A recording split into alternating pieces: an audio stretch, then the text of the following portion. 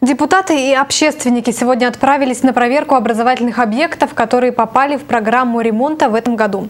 Активисты осмотрели школы, детские сады и дворовые клубы. В рейд отправилась и наша съемочная группа.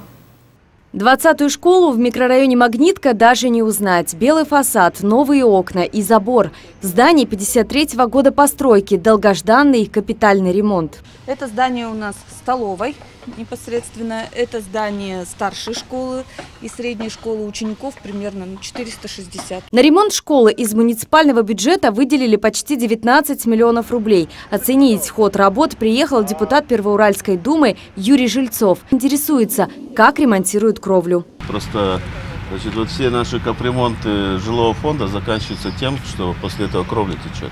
Нет, Поэтому кро кровля здесь должен быть особый контроль. Внешние работы должны завершиться 15 августа, после чего Юрий Жильцов пообещал приехать вновь и еще раз проверить, все ли выполнено, как того требует контракт. Школа – это особый объект, здесь э, дети будут учиться, здесь и важна и безопасность, в общем-то, и, ну, и определенные условия санитарии. Поэтому, конечно, депутатский контроль здесь очень важен над, над проведением этих работ. В этом году в Первоуральском округе отремонтируют пять школ. Кроме того, в порядок приведут детские сады и дворовые клубы. Деньги выделены колоссальные, поэтому контроль ведется как со стороны депутатов, так и со стороны общественности. Член специальной комиссии, активист Виталий Верт, отправился с ревизией в дворовый клуб «Орленок». Здесь ремонт закончили совсем недавно. Давайте я вам задам один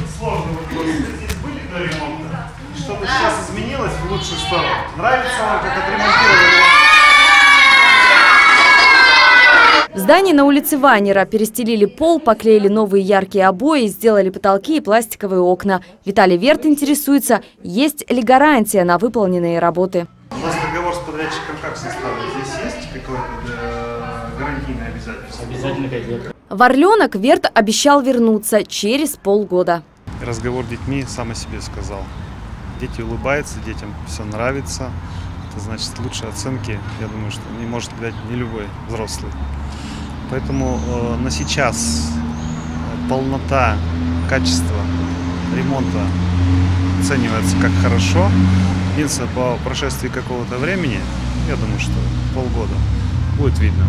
Председатель организации «Наследники Победы. Дети войны» Алевтина Нарваткина отправилась в дворовый клуб «Сталкер» на Комсомольской, 19. Активистов встретили яркие стены, новая мебель и довольная детвора, что целыми днями находится в клубе. Ремонтированы все помещения, и санузлы, и раздевалки, и непосредственно игровые помещения. В «Сталкере» есть кружки прикладного творчества, рисование, настольный теннис. Совместную деятельность дворовые клубы теперь будут вести с организацией «Наследники Победы. Дети войны». Когда мы э, проводим вручение документов э, по без вести пропавших, по тем наградам, которые мы нашли, э, по тем подвигам, которые совершили герои на войне. Ведь это очень важно для молодого поколения. То есть даже если внук или правнук знал о том, что награды были, а конкретно за что, вот мы хотим как раз рассказывать об этом. Всего в этом году в округе отремонтировали 7 дворовых клубов. На эти цели было потрачено 8 миллионов рублей. Общественники и депутаты и впредь будут проверять качество выполненных работ.